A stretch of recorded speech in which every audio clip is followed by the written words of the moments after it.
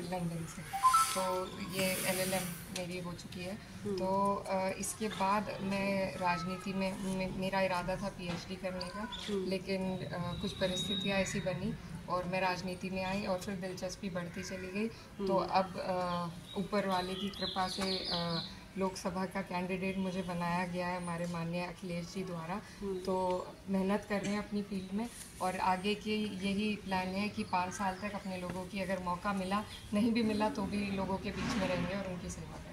आ, क्योंकि यहाँ पे अगर महिला वोटर्स की बात करें मुझे लगता है आप क्योंकि एक महिला हैं और युवा चेहरा है आपको लग रहा है कि महिलाएँ आपके साथ में जुड़ रही हैं और आप उनको किस तरह से सशक्त करना चाह रही हैं? क्योंकि आप खुद एक अच्छे बैकग्राउंड के साथ में आती हैं एक एजुकेटेड बैकग्राउंड से आती हैं।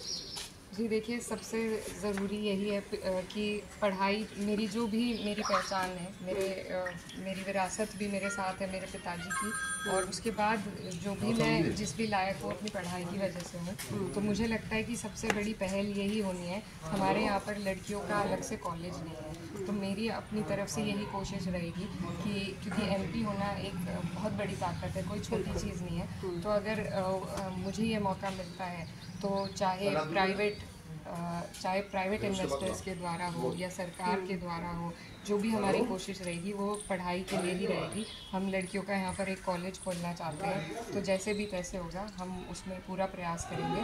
और यहाँ पर हम सेहत के लिए भी जो इंफ्रास्ट्रक्चर है यहाँ पर हेल्थ केयर फैसिलिटी बहुत कम है। और हमारे पूरे ज़िले में एक ही महिला डॉक्टर है। तो महिलाओं के लिए बहुत बड़ी चुनौतियाँ हैं ये। और मेरी मैं मैं यही कहना चाहती हूँ कि अगर मैं यहाँ पर निकल सकती हूँ तो कई हमारी बहनें हैं वो भी आगे अ, सामाजिक और राजनीतिक और एडमिनिस्ट्रेटिव रोल्स में अ, हिस्सा ले सकती हैं तो उसके लिए मैं भी मैं उन्हें कहना हूँ आ, आखिरी सवाल क्योंकि आपने एक बहुत एक अच्छा और सकारात्मक वे में आपने बताया कि आप एजुकेशन वाइज आगे बढ़ाना चाहते हैं लेकिन कई ऐसे पिछले कुछ वक्त से हम मुद्दे देख रहे हैं वो हिंदू मुस्लिम जात पात मंदिर मस्जिद की राजनीति करते हुए नज़र आते हैं। आपको लगता है कि चुनावों में इस तरह के मुद्दे नज़र आ रहे हैं और आप उनके लिए क्या कहेंगे? और इसी में आप ये भी बता दीजिए अपनी जीत को लेकर कितनी आश्वस्त है। देखिए ये मुद्दे यहाँ पर सभी लोग सभी बिरादरी सभी जाति के लोग यहाँ पर मौजूद हैं। और कोई अगर मैं किसी से उसकी जाति नहीं पूछूँगी तो कोई मुझसे भी नहीं पूछेगा। ये दीवारें जो हैं ये हमने ही अपने बीच में खड़ी कर रखी हैं। और कुछ जो हमारे राजनीतिक दल हैं ऐसे कुछ जो हमारे ऐसे राजनीतिक दल हैं वो इन चीज़ों पर ज़्यादा ध्यान देते हैं कि वो इन्हीं मुद्दों पर बात करते हैं। हालाँकि हमें लगता है कि बात काम की होनी चाहिए। बात जो सार्वजनिक कार्य हैं चाहे वो शिक्षा के केंद्र में हो चाहे वो स्वास्थ्य के केंद्र में हो इंफ्रास्ट्रक्चर के हों अगर उन पर हम लोग ध्यान देंगे तो जनता के बीच ये कोई मुद्दे नहीं है। आज से पहले भी हिंदू मुस्लिम सब लोग इकट्ठा रहते थे अब भी रहते हैं और आगे भी रहते रहेंगे। तो ये जो बातें हैं ये लोग अपने राजनीतिक फ़ायदे के लिए कुछ दल करते हैं लेकिन हम भी पूरे प्रयास इसीलिए कर रहे हैं कि लोगों के बीच में कहीं भी जाकर आप यहाँ पर किसी की बैठक में जाके बैठेंगे आपसे कोई आपका धर्म और जाति नहीं पूछेगा। तो हमारे लोगों के अंदर बहुत प्यार है और वही प्यार हमें बरकरार रखना है भाईचारा बरकरार रखना है और अपने इलाके को कुछ ऐसे जो दल हैं जो भेदभाव फैलाते हैं उनसे बचा कर रखना अपनी जीत को लेकर आप कितने आश्वस्त हैं? आपने इसका जवाब नहीं दिया।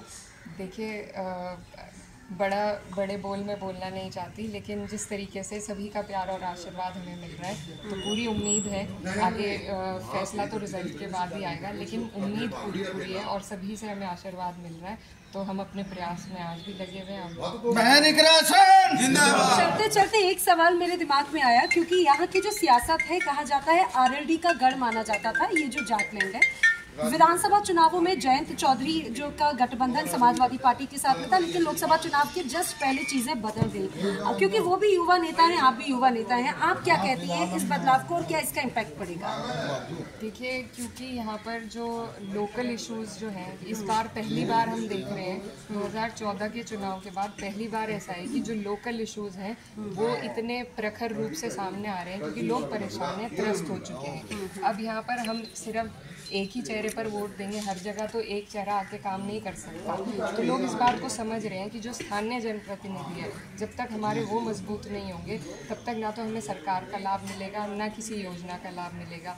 तो जो ये बड़ी, जो देश की राजनीति जिस तरीके से चल रही है और भाजपा जिस तरीके से एक जगह पर हर जगह चुनाव लड़ती आ रही है तो ये पहली बार ऐसा हुआ है कि अब लोकल इशूज़ क्योंकि 10 साल से दबे हुए ये इशूज़ रहे हैं, क्योंकि इनके जो लोग हैं, मैं हमेशा कहती हूँ कि भाजपा में किसी भी नेता का कोई वर्चस्व नहीं है। भाजपा किसी नेता का वर्चस्व बनने भी नहीं देती है। तो यहाँ के जो जनप्रतिनिधि जो बीजेपी के होते हैं, वो अक्सर निष्क्रिय पाए जाते हैं। तो वो बात अब हमारे लोगों को 10 साल के बाद समझ में आने लगी है और इसीलिए मुझे लगता है कि लोग ऐसे लोगों को अपने बीच में चाहते हैं जो वैसे भी उनके सुख दुख में उनकी समस्याओं में आते रहें और उनका संसद तक उनकी आवाज़ उठाते रहें। और आपने आरएलडी का सवाल किया तो बिल्कुल ये आरएलडी का इलाका ज़रूर है और हम सभी यहाँ पर चौधरी चरण सिंह जी के अनुयायी हैं और अ, मेरे मन में बहुत सम्मान है जयंत चौधरी जी के लिए। मैं आपको बताऊँ उन्होंने मेरा नाम आगे किया था जब हमारा गठबंधन मज़बूत था। तो अ, उसके बाद से लेकिन क्योंकि यहाँ पर प्रत्याशी भाजपा के हैं और अ, उनकी एंटी इनकम्बेंसी बहुत ज़्यादा रही है।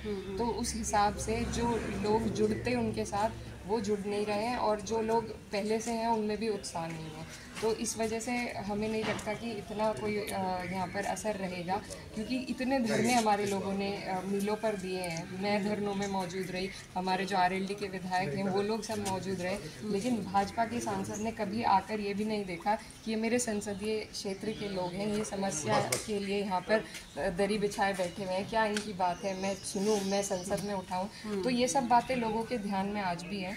और रहेंगी और इसलिए मुझे नहीं लगता कि किसी बड़ी पार्टी का या जो नेशनल नैरेटिव चलाया जाता है उसका यहाँ पर फ़र्क पड़ेगा। चलो चलो। बहुत बहुत धन्यवाद इकरा